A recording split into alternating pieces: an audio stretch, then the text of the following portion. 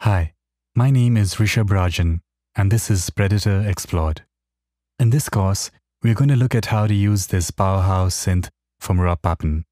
Now, I'm not going to cover synthesis fundamentals, and I will assume you know what an oscillator, filter, or an ADSR envelope is. If you're not too familiar with synthesis terminology and want to learn more about that, please feel free to check out some of the other courses before starting this one.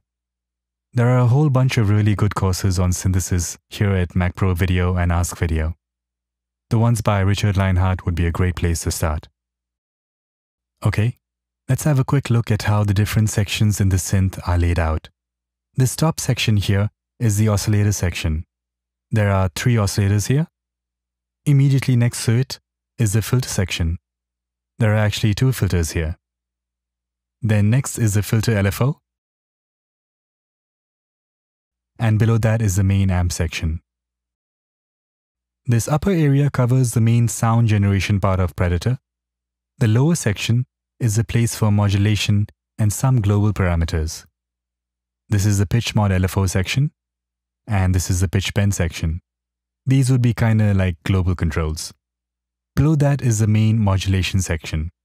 You have two envelopes, two LFOs, and a modulation router section. Next is the effects section. Here you can process the sound generated from the upper section with effects like reverb, chorus, distortion, and a really cool vocoder, which we look at in detail later on.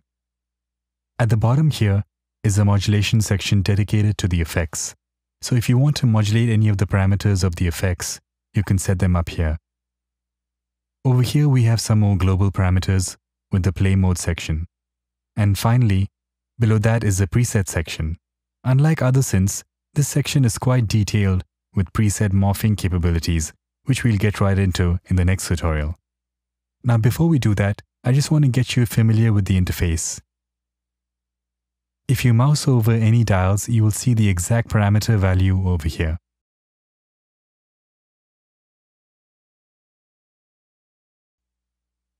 Of course, if you change the parameters, it will show up here as well so you should keep an eye here whenever you make changes.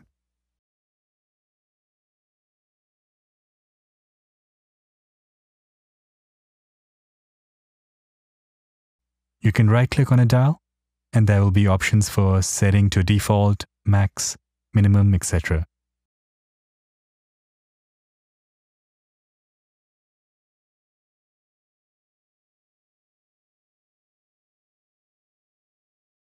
You can even assign a MIDI controller to a dial from here.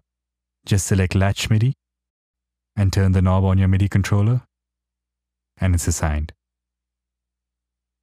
Now in terms of the colors of the dials, they are not random.